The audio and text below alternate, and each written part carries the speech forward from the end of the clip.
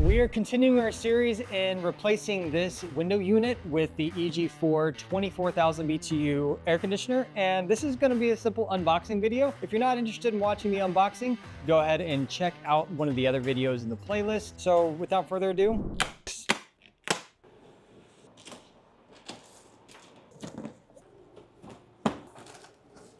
So the first thing it looks like is a template, and that's gonna hang on the wall here.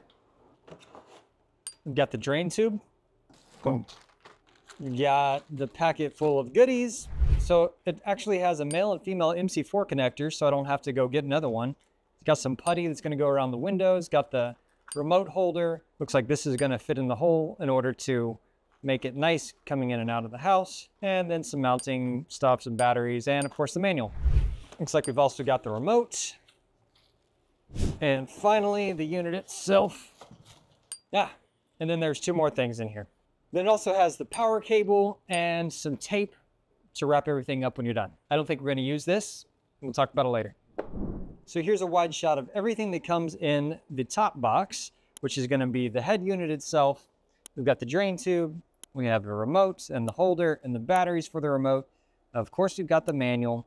And then we've got this guy is gonna go through the wall to make sure everything stays nice and clean. We've got our mounting hardware, we've got our putty, and we've got the MC4 connectors and an Allen wrench, which is great. And we've got our stickers for our serial number, which I'm not gonna flip around because you don't need to know my number. So now let's move to the outside where we've got the compressor sitting on the back of the tractor. All right, so we've got the outside unit and it comes in its own box. This thing is heavy, 46 kilograms. Let's go ahead and pop it off, see what's in it. And that's all we have to do. It's a good looking unit. So we've got the outdoor unit and we've got the copper tubing. Product name, in outdoor connect pipe. Then we've also got some more of the tape. Show you around the unit. Kind of nice right here. We've got our MC4 connectors. This is for the solar. If you guys are not aware of what this thing does, check out the previous video that I put out. It's pretty amazing.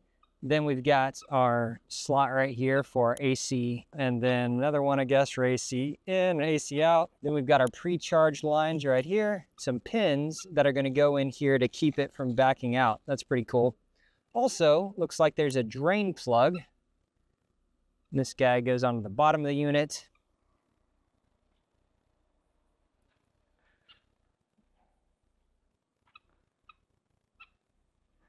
Overall, Pretty cool.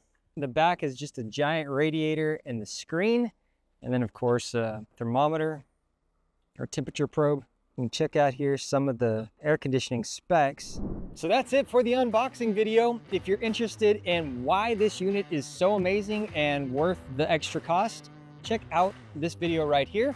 And once I get the installation video up, it's gonna be right here. See you on the next one.